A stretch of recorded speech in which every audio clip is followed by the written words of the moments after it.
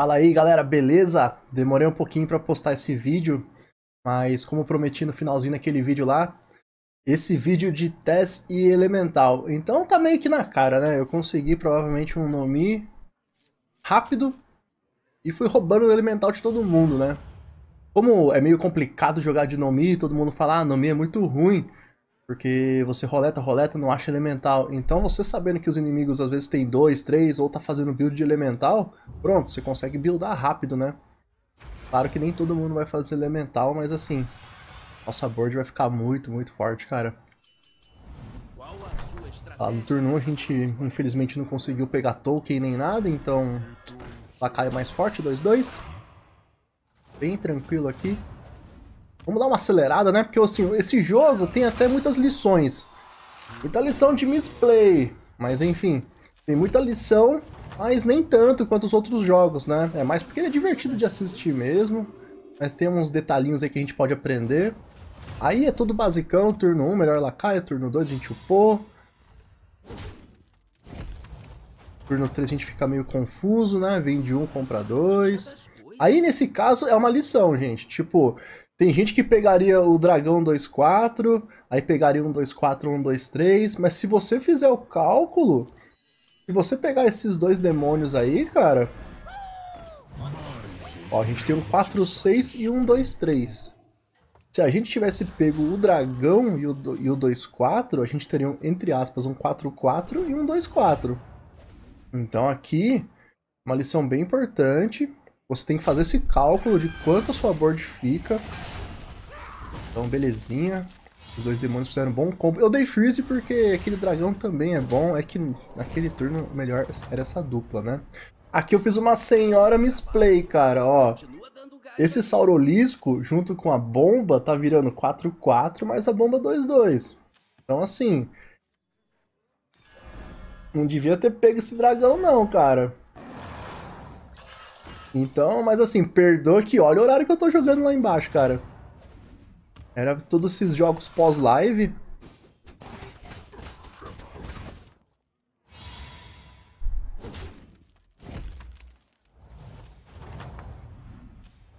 Poderia ter uma dupla de Saurolisco. Então, assim, é, normalmente esses jogos, cara, eu levo a sério, lógico, mas assim, tem vezes que eu tô jogando meio com sono, tô zoado. Mas olha como a gente foi recompensado por aquela misplay, cara. Olha esses dragãozinhos formando a nossa trinca, mano. Que maravilha, cara. Ô, oh, por que, que você pegou aquele piandeiro? Ah, eu achei que ia acabar buildando demônio porque eu ia ficar muito fraco, né? Mas... Aqui é meio debatível, né? Eu pensei, falei, bom, vou pegar esse 5-4 pra dar o buff ali nos dois demônios, que a gente tem dois demônios, né? E como eu vou querer trincar só no outro turno, porque a gente vai upar e trincando para poder pegar um tier 5, eu falei, bom, vamos comprar. A gente vai comprar um dragão, é meio óbvio isso, né? E outra, outro lacaio. Então acabei optando por, por esse TC Cristal, que não só dá mais um 1 para esses dois demônios, mas também já é um corpo 5-4, né? Ah, já, você poderia ter pego o 2-3 ali, dava mais 2 mais 2, ainda dá mais 2 mais 2 pro fiandeiro. É uma dupla. Eu. Não sei, cara, é debatível. Podia ser também. Né, ter uma segunda dupla. O pau fiandeiro por custo de 1 HP só. Mas tá bom assim.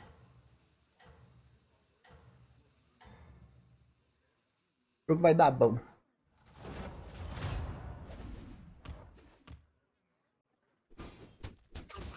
Vamos acelerar aqui, porque, né? Tão emocionante essa partida assim. E agora vem o bicho, cara.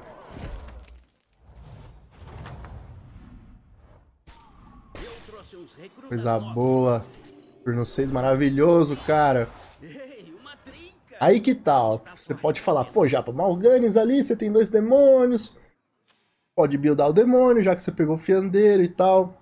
Aí você olha pro pessoal, você viu que bastante gente tá fazendo elemental, cara. Eu falei, pronto, vamos, vamos embora de Nomi, man. Esse cara não tem elemental, tá bom. A gente fica um turno sem. Vou acelerar a partida aqui porque não vale tanta pena. Importante, ganhamos, não tomamos dano.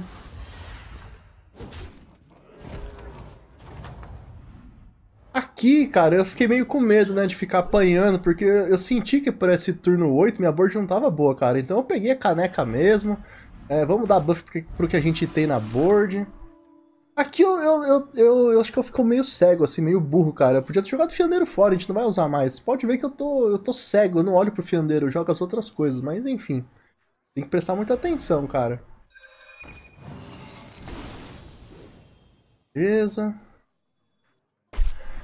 Eu quero muito que o buff caia em cima desse elemental e do dragão, então eu vou jogar o esse elemental fora. o buff não pra lá. Beleza. Olha que bobeira, cara. 3-3 jogando fora, deixando o Fiandeiro um 3 ali. Tipo, por quê? Mas enfim, é, acontece, cara. Quem não? Isso é um erro muito comum entre o pessoal. Acontece muito comigo. Você acaba esquecendo uma caia, você deixa ele lá e você fala, pô, já tava na hora de ir embora, né? Mas tá bom. No fim não fez tanta diferença ali que o Fiandeiro até tomou um dano de escudo divino. Se fosse o 3T ia também tomar do mesmo jeito, mas enfim.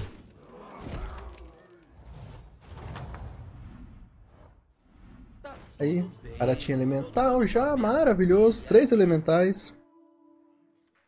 Olha o que o Fiandeiro.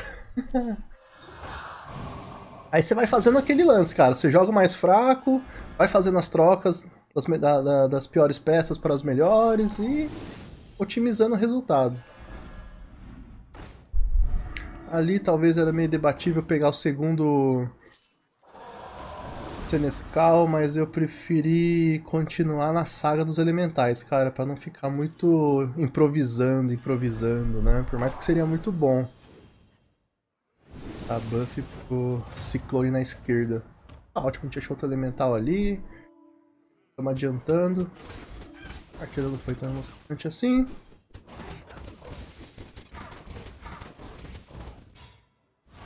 Eu sempre checando o que o inimigo tinha, porque eu sempre esqueço. Então aconselho muito você jogar de tracker. Tem gente que não joga de tracker, né? É só, cara. Complicado não achar elemental. Isso que é problemático pegar no Mi, cara. Mas você vê que Tess ainda consegue funcionar. Ó, aqui eu fiz uma misplayzinha, cara. Pode ver. Joguei fora um, ok. Aí eu jogo elemental vendido, ok. Se você contar mana, eu podia ter jogado elemental vendido fora, transformado esse Stasi em 12, cara. Mas tá bom. Olha só, tô vendendo só agora. Poderia ser um 12-12, mas enfim. Espero que eu não seja punido por isso. E a partir daí é só você checar o que o pessoal tem, roubar os elementais. Oh, cara, que delícia, mano. O cara tem um Genie ali. O cara tem outro elementalzinho do Taunt. Maravilhoso, cara.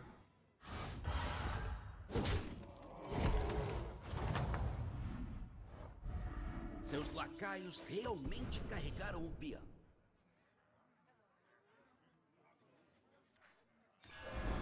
Então, sobre o Senescal, eu tô deixando ainda porque eu acho que tá safe comparado com a board do pessoal pelo turno que a gente tá.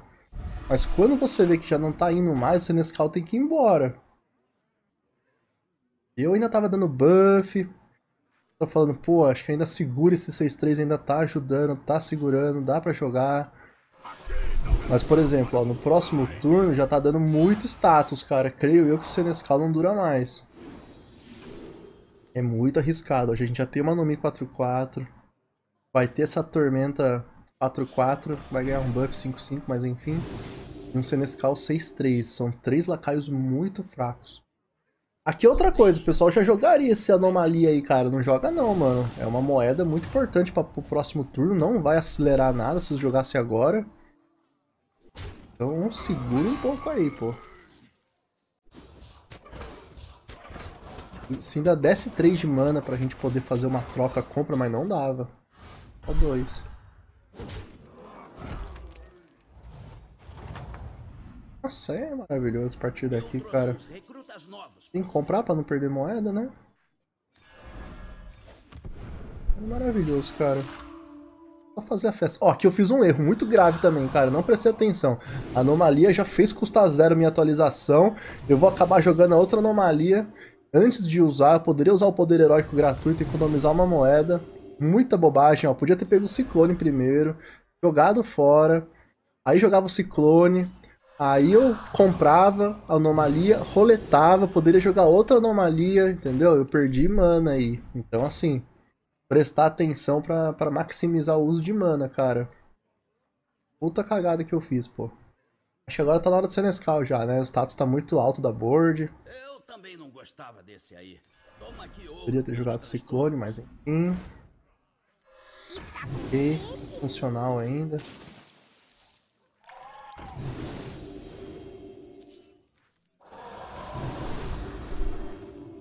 Então, aqui, cara, é complicado. Tem gente que já trincaria. Eu não recomendo, porque, ó, eu tô com pouca vida, tô pra morrer. Se eu trincasse, cara, a chance, ah, por exemplo, ah, já se aparece outra nome, etc. É outro corpo 4-4 que fica, então melhor manter a calma. Deixa, deixa esse elemental da água aí, que tem status muito bom por enquanto.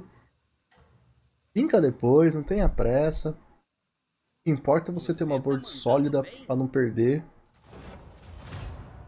Não que eu não tenha confiança nessa board, que tá grande, né? Mas... Pode acontecer, né, cara?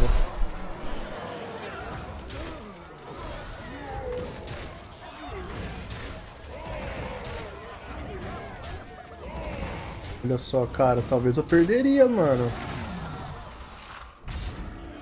No lugar daquele elemental ali fosse uma Nome 4-4. Mas enfim, creio que não. O... Esse elemental já tá gigante. Exatamente o que você tava procurando. Aí eu fiquei na dúvida. A gente upa, pega um tier 6, a gente fica no 4 pra poder pegar um tier 5 contra Nomi. Não, vamos upar logo que não tá, não tá dando muito, não tô podendo muito não, cara. Ah, que tenso, né, cara? Como a gente tem pouca vida, puta, que medo de pegar essa Nomi, cara. Nossa. Ah. Tá bom. Melhor, melhor fazer isso mesmo, porque é muito zoião. Já tá com bom status. Tem uns, uns lotes... Dois slots morto, mortos é horrível. Tá bom assim, né, cara? Não pode ser muito zoião.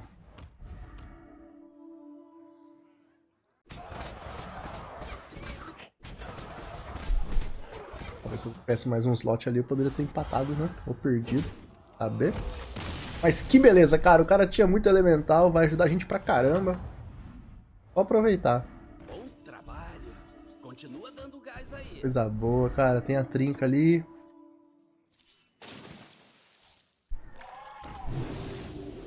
Abre até uma vaguinha. Maravilhoso.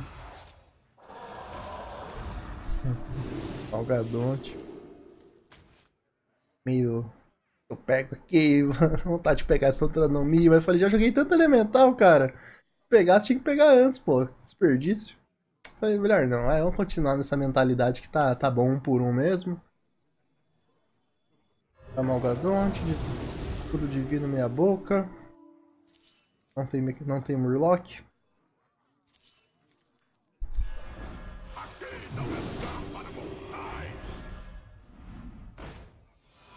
Ótimo. É que fica a dúvida. O que, que eu jogo fora? A X na forte. Então, assim, dois com escudo divino tem sua super utilidade. Um que quando bate, mata, dá o dano restante nos outros. Utilidade. Gine sua utilidade. Eu falei, bom. Jogar X na fora é corajoso, cara. Talvez eu jogaria mesmo esse elemental Tier 2 aí. Mas tá bom. O Dini fez o seu, o seu papel, dando coldando lá pro canto. Nossa, caralho, que destruição, cara. Deus.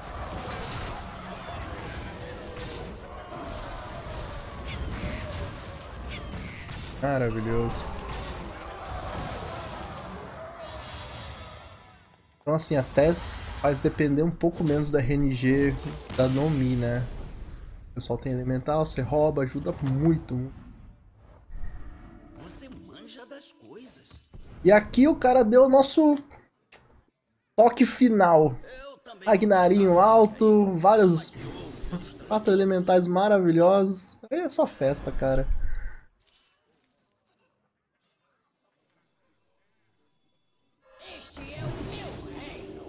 Deixa eu no mim ainda, cara. Muito zoião. Muito zoião, cara. Mano, joga no Mi fora, mas não, cara. Eu sou muito zoião, velho. Mas tá bom. Talvez o Dini seria bom ter deixado, porque o Dini gera mais um lacaio. E se o cara tá com dragão, é mais um lacaio batendo pra tirar escudo divino. Mas enfim, cara. Já que é tudo ou nada, vamos com tudo, né?